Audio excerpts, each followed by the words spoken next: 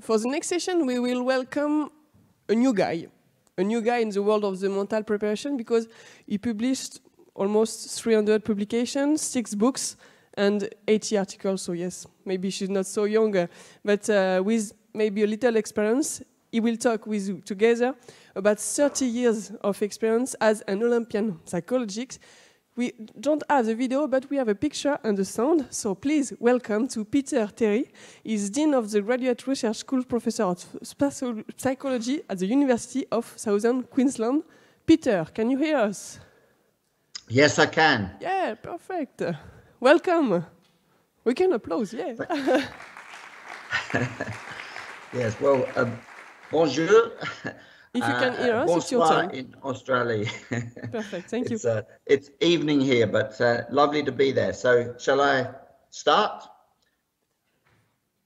I have. Okay. Um, I'd first of all like to talk about how uh, should be on the next slide here, I think. Um, can you Okay, there we go. Um, Perfect. Uh, I'd like to talk about how uh, I, as a psychologist, in, have interacted with um, athletes and coaches um, over the years. There's many different ways to uh, to do it, and um, here are some examples. So, for example, some psychologists, I believe, uh, come in and they hand down the truth uh, as though it's uh, from Mount Sinai handing down the truth to coaches and athletes. Of course, this is not the way to do it. and I think that very quickly coaches and athletes um, uh, turn off this approach. Another approach is sometimes where perhaps a coach does not trust the sports psychologist and would rather work, the psychologist work through the coach rather than working directly with the athlete. And this was perhaps a more protective approach uh, in, in past eras. Um, um, and of course, that doesn't work either. Uh, this is a, a, more effective model where the coach, athlete, and sports psychologists uh, work uh, harmoniously as a uh, respecting one another's expertise. Uh, you know, most psychologists realize, and all of them should realize, that the coach and the athlete are the experts in the sport. Um, and the psychologist is there to support their efforts. But for me, the best uh, model, oh, it's not there. Oh, I've lost a slide. Okay, I'll describe it to you. Um, is what I call the complete picture, where the psychologist is embedded within the um, the national governing body, as it were, uh, as part of the team, um, working with the other support professionals, so that everything that is delivered for the benefit of the coach and the athlete um, takes into consideration um, what everybody else is doing. And uh, that uh, integration, I think, is really important and something I've learned over the years. Um, as a as a support member, you can be on the periphery. You can uh, be having input maybe you know once a month, and from, to my mind, that's not a very effective model. Um, you can be a full, fully fledged member of the team, um, which is obviously better.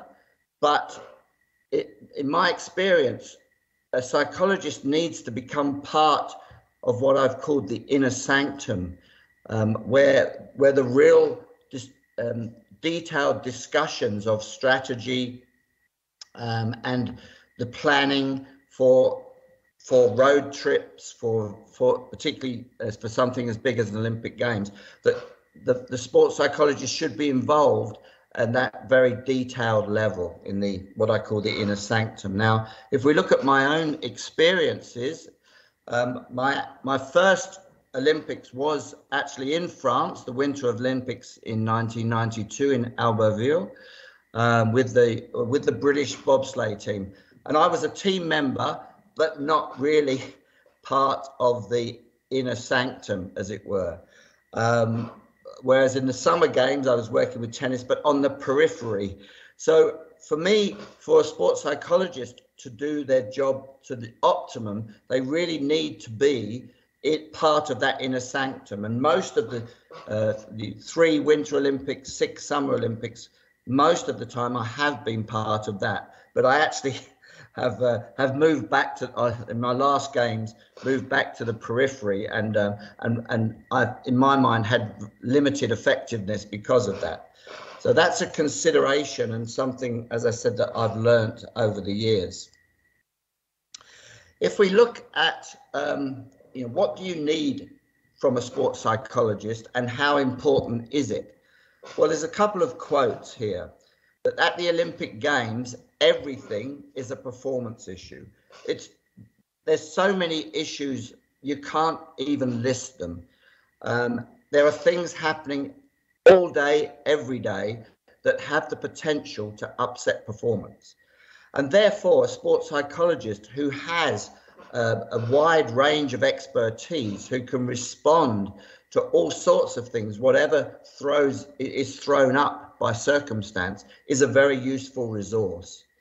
Um, and looking at this quote at the bottom, when athletes look back at their experience in the Olympic Games and ask what they would do differently at the next Games, but bear in mind most athletes only ever go to one Games um, more sports psychology was one of the most frequently cited responses um, because the games are different. Um, you know, they're just different in so many ways the historical importance, the multi sports, the environment where suddenly people who've been ignored for four years become front page news. Um, and it's very easy for athletes uh, to be thrown out of their equilibrium, to be upset, to, and therefore often to underperform. So the preparation um, on the psychological perspective for me uh, is key. But of course, I'm biased. Um, now, what characteristics should a sports psychologist have? Well, I think to be multi skilled, as I call it, to have a big bag of tricks, you need to have many things at your disposal in, in order to intervene or to assist in whatever circumstance is thrown up. Having said that, you need a light touch. By that, what I mean is don't overwhelm the people you're trying to help with too much information or with too many techniques. Have them in reserve, but use them sparingly. And for me, in my if I look at my methods that I use, I have some methodological cornerstones which I will talk about. But what I actually do with any individual is highly individualized. If I think that uh, a particular individual would not benefit from one of the things I have on offer, I won't do it. Um, but there are certain cornerstones that I always use, and I, I will explain those soon. Attention to detail is a key of elite sport coaches, athletes, and psychologists need to have that mindset that we don't leave little things to chance. If we get all the little things um, prepared for, then the whole thing should be that much better. I also feel that as a psychologist, it's my duty to model the behaviors that I'm looking for in athletes, which means I have to remain calm, in control, and confident and I've often had athletes tell me that they drew some confidence and calmness from my own manner uh, when I was around them. Um, the next thing is that the focus is should generally be on the task outcome. That's essentially, despite what everybody might say, the main reason everyone's there is for performance, a successful performance. Um, but not at the expense of the health, the well-being, the mental health of the people involved. So you have to have this fine balance between yes, we're focused on the task at hand, but we never lose sight that we're dealing with people who are under enormous stress, and we must care for them as psychologists. Another thing that I regard as important is the continuity of support. Um, I I don't come in and try to um, teach people things and then disappear. I want to be, and I have been over the years, a very integral member of the team over a long period. Now, then that raises the questions, the things I've said above, of whether a sports psychologist should be a registered psychologist and therefore have uh, that range of skills uh, that a psychologist must have. And my view is it certainly helps.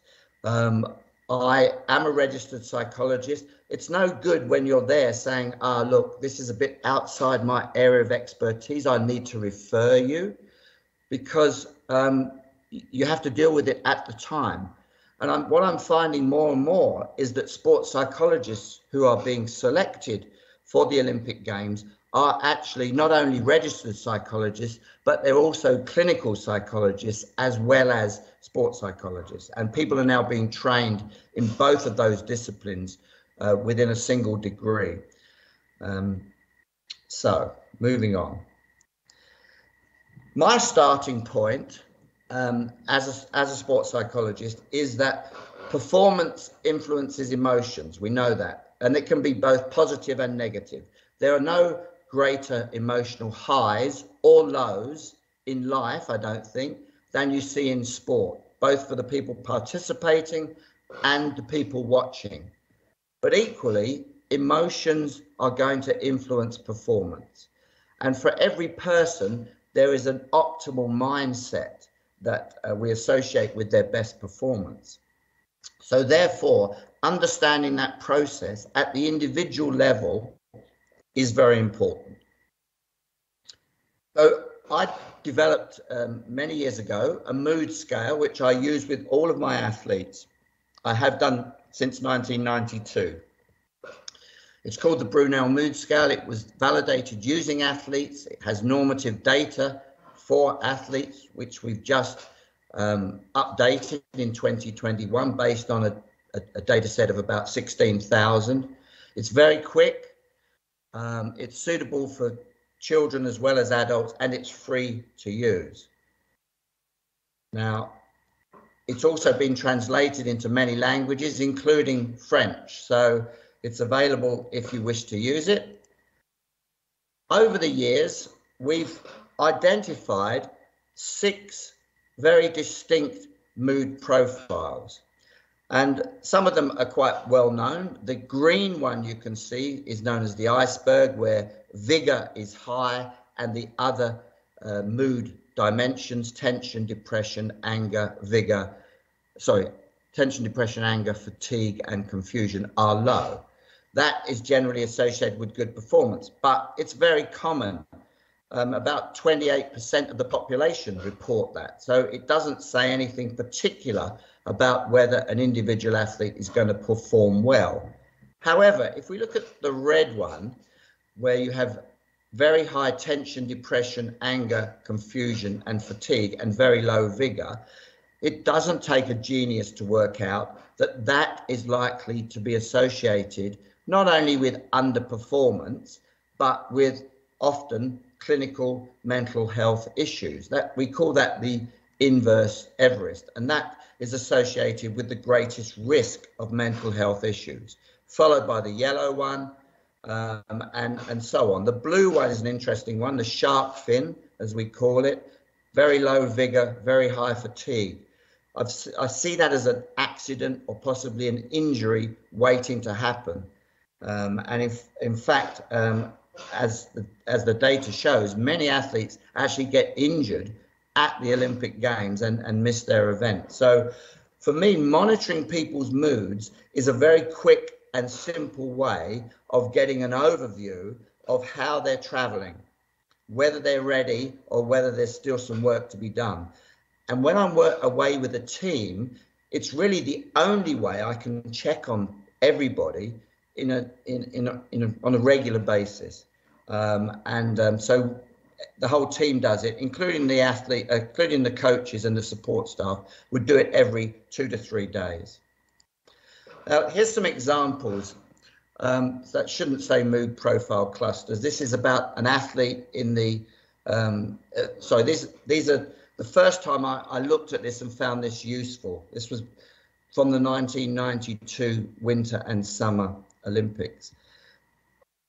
Having monitored a, a number of athletes, 42 who performed to expectations and 37 who underperformed, what we found was that both sets of athletes showed the iceberg profile, but for those who performed better, it was a more extreme, higher vigor and lower on the other, the more negative dimensions. And we could correctly classify 71% of them from their mood profile taken before performance to decide whether they would or would not perform well.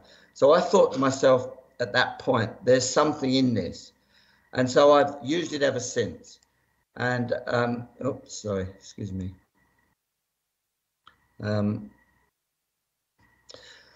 let me say that mood profiling does not predict who will be a champion, right? But it does predict the quality of performances to a moderate degree.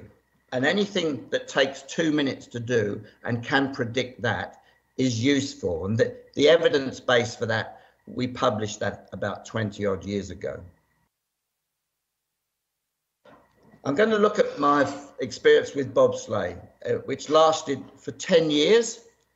And I worked with them for up to 100 days a year, uh, 100 days a year during Olympic years. I went to three Olympic Games with them and 32 World Cup or World Championship events.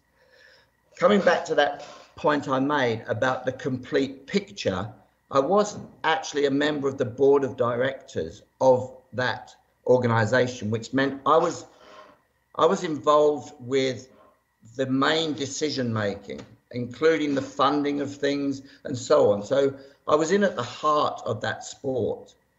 And my approach was individualized but with common elements.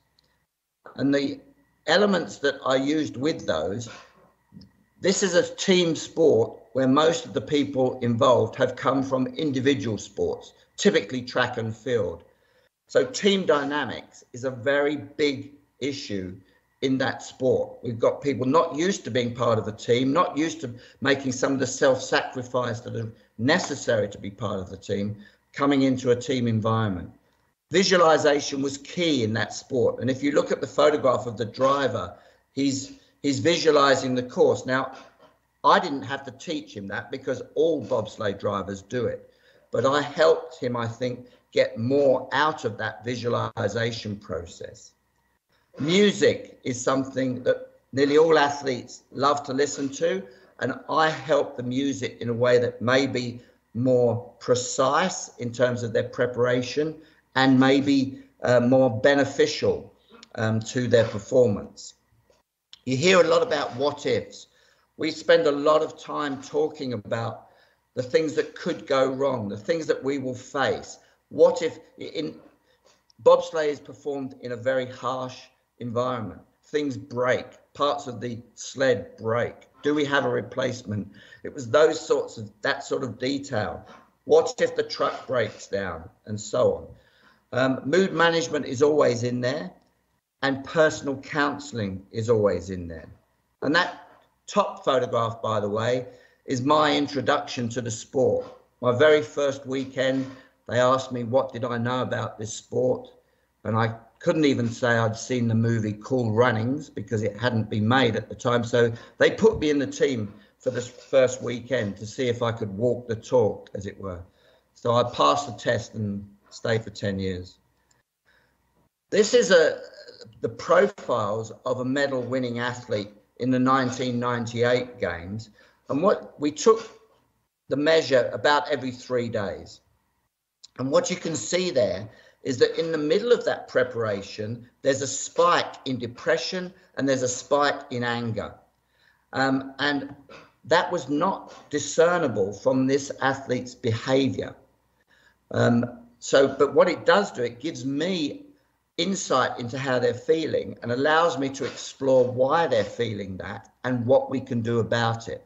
And in this instance, it was something to do with things from home.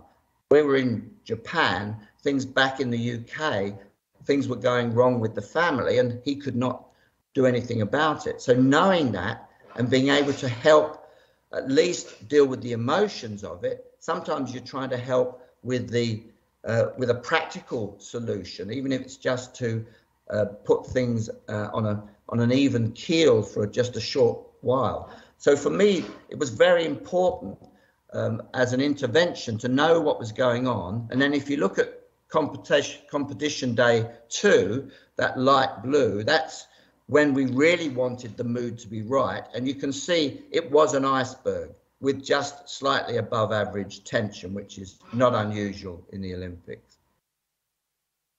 The music we used, if we look, looked at the record there, in Albertville they'd finished sixth, in Lillehammer they'd finished fifth. 1998 was going to be their moment. So this song, Whitney Houston's One Moment in Time, was the perfect way to encapsulate or to crystallize um, everything that we planned for. So we would play that song every day on the way to the to the bobsleigh event, and as they would all be singing it as we went through the gates. Whitney would just be finishing the song, and it stayed with them the whole day we were there. They would they would sing that. And look, was it to do with the music that we won a medal? No, but did it help? Yes. In fact, we shared the medal with France, um, and um, I still have one of those uh, French Olympic ski jackets that I wear occasionally. If we look at the evidence base for music, by the way, it's very strong. I published a paper last year where we summarized 130 studies um, looking at, um, at the effects of music. And we found that not only does it have a, a beneficial effect on our feelings, but it actually has a small effect on physical performance. Uh, there are a few ifs and buts. It reduces perceived exertion and it can even actually reduce oxygen consumption for exactly the same amount of work by about 1 to 2%. So there's a lot of benefits to be had from music. And if you don't believe me, listen to Michael Phelps because that's his uh, his big thing when he's competing. He listens to hip hop and rap, and um, you know when he came back from Beijing after winning eight gold medals, one of the first things he did was go to speak to Lil Wayne, who was the singer of the song that um, meant the most to him there. So move on to a, a next uh, case study. Um, I, I, was involved in marathon kayak with this particular person. She's given me permission to talk about this for 17 years. The majority of the time after I moved from, uh, to Australia, so we did it generally by distance. Um, I was mainly focused just on her, and mostly I didn't get paid for it. I'm not recommending that, but sometimes that's the way it is. Again, the individualized approach with common elements. In her case, a lot of it was about self image um, and her personal wellness. She was prone to working too hard, overtraining, getting burnt out, and so on. In her sport, the race plan is absolutely key. Um, and we spend a lot of time developing the race plan with her coach and then her visualizing that race plan till she it was absolutely second nature and she planted the images in her head of what she wanted to happen and you know she was five times world champion but she suffered from chronic fatigue syndrome for two years and she was advised actually to retire. Um, but she used reverse therapy. I didn't teach that to her, but it, it was the way she overcame her chronic fatigue syndrome and she regained two world titles. Now, that photograph on the bottom there, on the left, is her with her um, MP3 sunglasses, so she could listen to music on the uh, on the water. This was her song for recovery. I'm like a bird. Maybe you could sing that to yourself.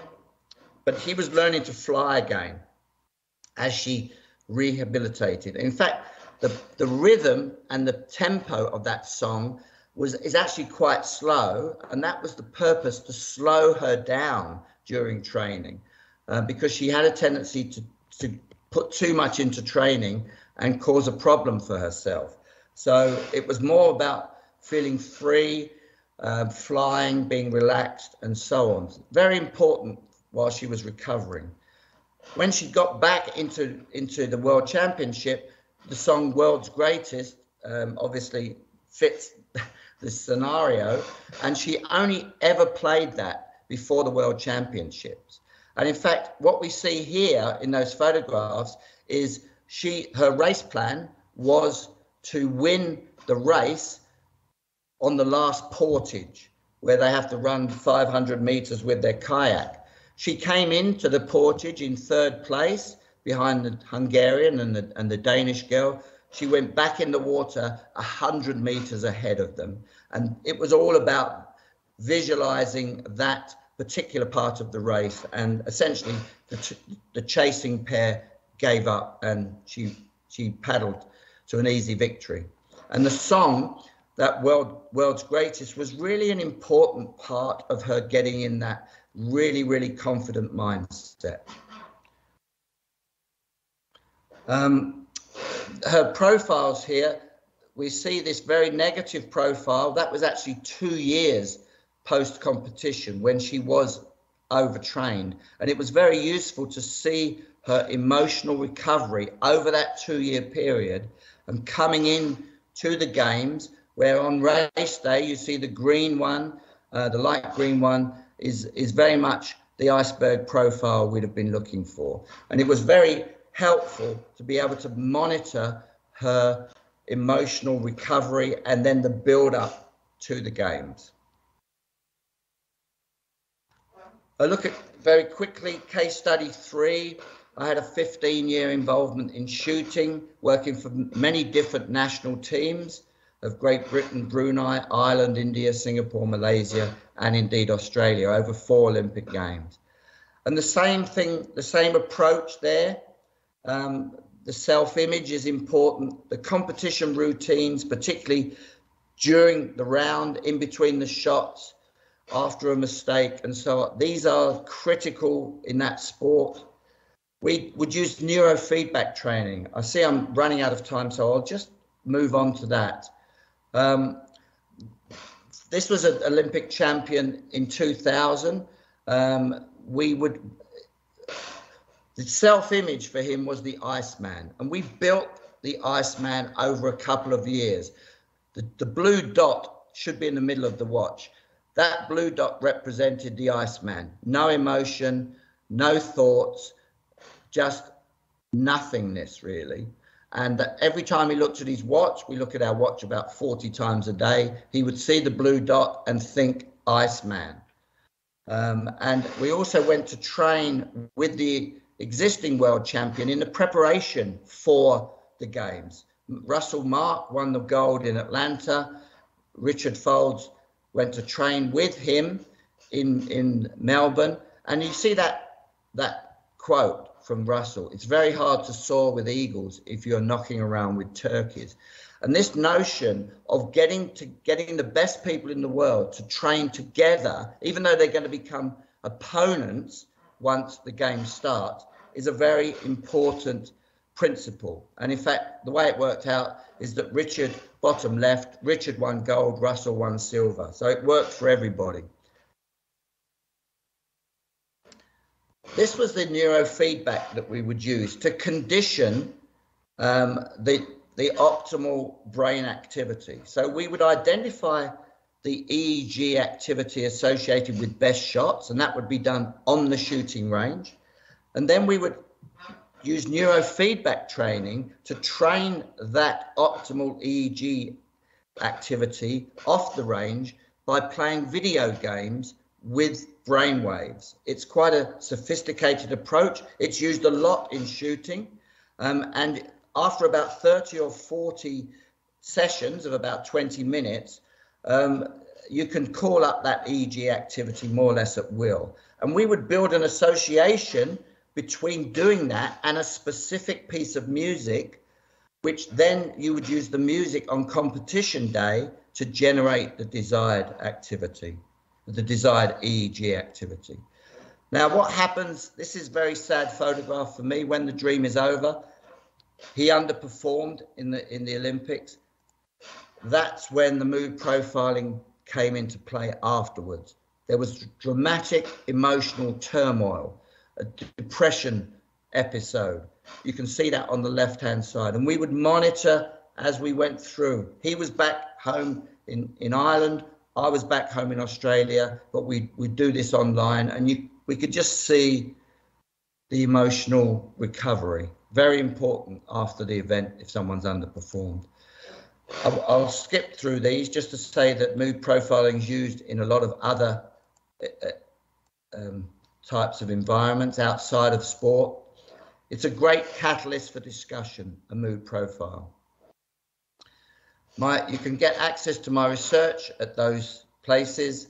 And I, the mood profiling system is free. You can use it online at moodprofiling.com. Uh, about 30,000 users at the moment. Um, it, it gives you the profile. It tells you whether you're green as a traffic light or not. If it's not, it gives you some suggestions for the sorts of things you can do um, in order to um, modify, regulate your mood. There's also a book that you can access for free Secrets of Asian Sports Psychology, 20 odd chapters for specific sports in countries that excel. Um, and um, archery in Korea, diving in China, rowing in Australia, rugby in New Zealand, and so on. There's a free online course which is actually being redeveloped, not available at the moment, um, with a few different modules. You get a certificate of achievement. There have been uh, 23,000 users of that, and about 550 there from France. Um, and that's it. Thank you for your attention. My son, Dominic, was in Paris two weeks ago. I wish I could have been with him. Um, and he's giving himself a tattoo in front of the Eiffel Tower. So thank you very much, everyone.